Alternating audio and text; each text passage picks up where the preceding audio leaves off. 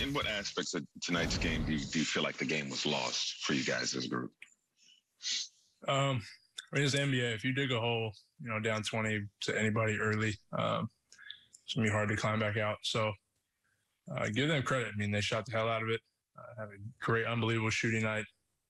Um, and you know, I think a lot of that can be attributed to us kind of giving them a couple uh, easy looks early in the game. They're NBA players, they're good players, get their confidence going, um, you know, and feel good about themselves the rest of the night. So it makes it makes the rim look a lot bigger, and uh, give them credit. Uh, you guys shot 10 for 37 from three point range. I know you can only speak for, for you, but is fatigue a factor in, you know, kind of off nights and, uh, like this? those are great looks. Um, it's basketball. It's how it works sometimes. Sometimes they go in, sometimes they don't. Um, you know, we, we're, we're riding with, you know, all those looks that we got tonight. Uh, we were in the game. I mean, for as well as they shot too, we were only down five throughout until they blew it up. Um, went on that run, uh, but you know we were right there for a majority of the game, uh, and they made that little run at the end.